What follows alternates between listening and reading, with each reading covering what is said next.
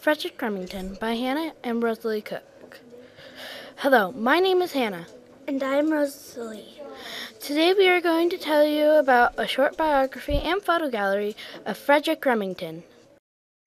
Frederic Remington lived from October 4th, 1861 to December 26, 1909. Frederic Remington was an American painter, illustrator, sculptor, and a writer who specialized on the depictions of the Old West, concentrating on pictures of cowboys, Indians, and the United States Cavalry.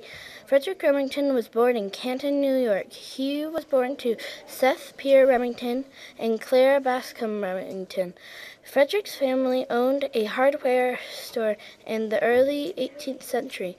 Frederic Remington won 44 award, painting awards of the Old West, like Rattlesnake, Mountain Man, and more.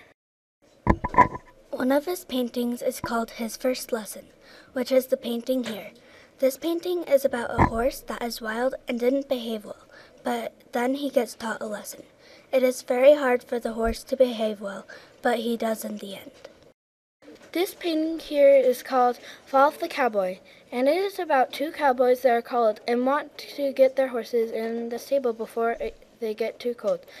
One makes it from the cold, harsh wind. One of them gets too cold, cold and dies.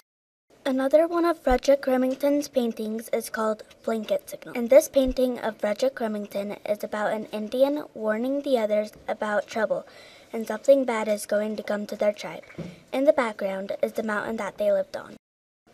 The last painting we're going to show you is The Stampede. This painting is about a cowboy in a big storm and is trying his very best to survive and get all the ca cattle rounded up.